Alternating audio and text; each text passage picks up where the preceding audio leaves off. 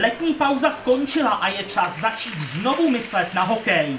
Fanoušci si ještě před začátkem prvního přípravného zápasu připomněli legendárního jihlavského útočníka Jana Hrbatého, který nás opustil ve věku 77 let. Pak už přišel čas na zápas s kazašským týmem Irtyš Pavlodar.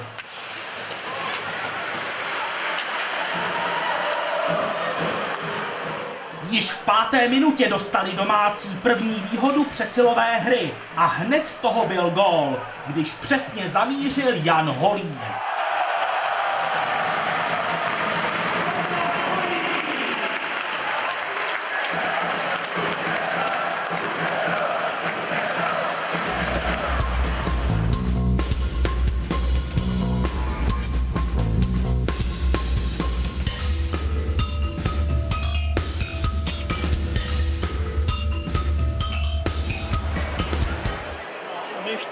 Ty krabice nějaký Další branky padly až ve druhé třetině.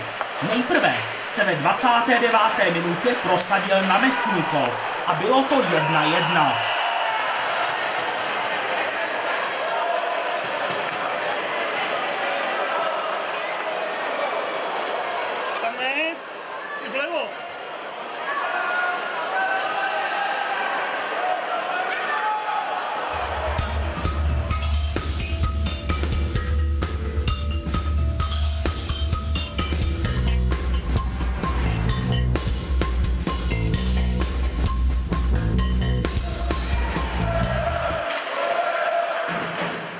Za dalších 8 minut šli domácí znovu do vedení.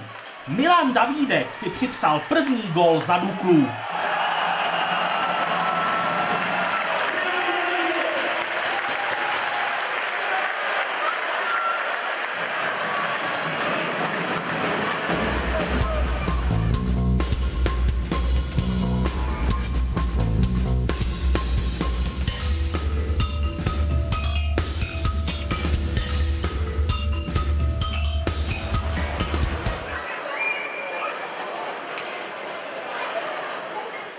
Jenže všechny další góly už padly jen do sítě jihlavského brankáře Chaloupka.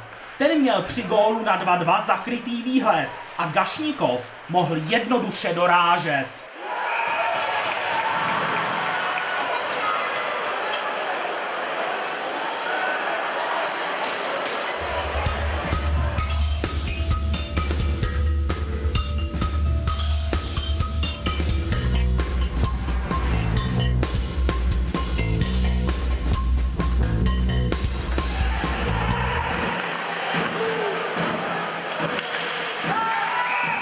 Nerozhodný stav ukončil až Samoljov, který se trefil z trestného střílení.